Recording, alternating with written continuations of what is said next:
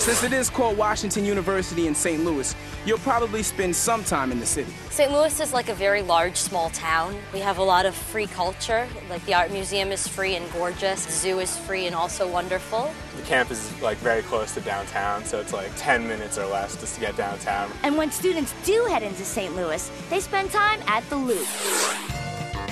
The Loop's basically a street with a bunch of different coffee shops and restaurants, a movie theater, things like that. On campus, think Gargoyles and Spires. WashU's got a pretty gothic feel.